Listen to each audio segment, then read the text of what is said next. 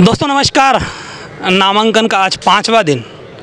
और आखिरी के दो दिन बचे हैं। आज 28 तारीख, कल 29 तारीख। 28 तारीख में आज वसई से, वसई के अभी वर्तमान विधायक और बहुजन विकास आघाड़ी प्रमुख हितेंद्र ठाकुर अपना नामांकन भरने आ चुके हैं। फ़िलहाल हितेंद्र ठाकुर वसई तहसील कार्यालय में है, वहाँ नामांकन की प्रक्रिया जारी है। इस विजुअल में, इस वीडियो में आप देख सकते हैं किस तरह से वसई चीमाजी अप्पाजी ग्राउंड से नामांकन रैली शुरू हुई। और क्या कार्यकर्ताओं में जोश था, कितनी बड़ी ये रैली थी, आप विजुअल्स में देख सकते हैं। चीमाजी अप्पाजी ग्राउंड से होकर, पारनाका पारनाका से कबूतर खाना झंडा बाज़ार होकर रैली यहाँ आई, ख़त्म हुई। अभी आप हितेंद्र ठाकुर नामांकन की प्रक्रिया कर रहे हैं, थोड़ी देर में निकलेंगे और ये नामांकन यहाँ से बहुजन विकास आघाड़ी के सर्वे सर्वा हितेंद्र ठाकुर का नामांकन के बाद दोपहर के समय नाला सुपारा से क्षितिश ठाकुर का नामांकन होना है। कहीं ना कहीं जब हम लगातार कवरेज कर रहे हैं आपको बता रहे कि चौतरफा यहाँ पर मुकाबला होना है।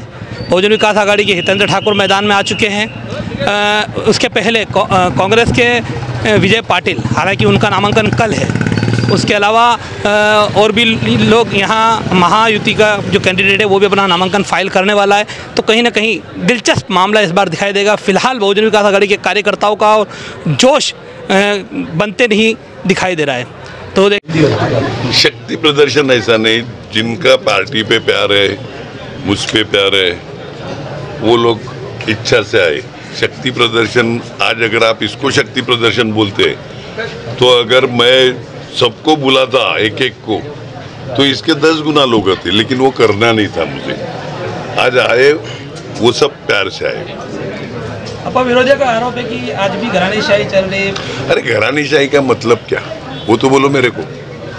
बोलते पिता पुत्र सभी हाँ तो पिता पुत्र तो लोग चुन के देते हैं ना हम रहते हैं ना लोगों के साथ। कोरोना के काल में भी ऑफ़िस में बैठ के या वो फ़ील्ड पे काम करने वाले कौन थे? हम हमारे कार्यकर्ता। इनका चलो घराने से एक आरोप मतलब दूसरा आरोप है नहीं इनके पास कुछ। कितने फॉर्म भरे गए आज कुल मेरे चार बड़े आपके ही मेरे या फिर और भी कोई? अपा अपा महायुति महाविकास आघाड़ी साथ लड़ रही है। 2019 के चुनाव में छब्बीस हज़ार की लीड थी। इस बार क्या सिनारियो रहेगा? जोरों में रहेगा। महायुति महाविकास आघाड़ी अलग अलग लड़ रही है।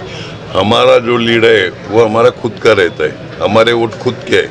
हमारे पार्टी के ऐसा क्या है? चौंतीस साल से आप आपका जलवा कायम है सर।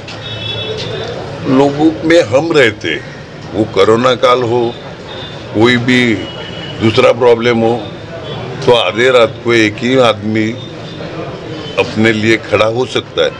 इसकी गारंटी है लोगों को। बाकी जो है ना, वो वक्त पे पैदा होते हैं टाइम पे, और बाद में गायब होते हैं। इस शर्ट हम के कभी- पीछे का राज क्या है जो हर चुनाव भगवान जाने लोग प्यार करते हैं इस शर्ट पे इसलिए मैं भी प्यार करता हूँ। अपा एक एक सवाल है कि आप दो साल तक एनडीए के साथ में रहे अब यहाँ पे आपने नामांकन दाखिल किया है।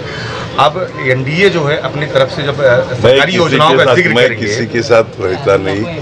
मैं सरकार को सपोर्ट करता हूँ। मेरे यहाँ के अपने लोगों के पालघर जिला के काम होने चाहिए उस हिसाब से। थैंक यू हमारे चैनल सैफ न्यूज़ लाइव पर अपने व्यापार और सेवा से संबंधित विज्ञापन प्रसारण हेतु दिए गए मोबाइल नंबर पर संपर्क करें।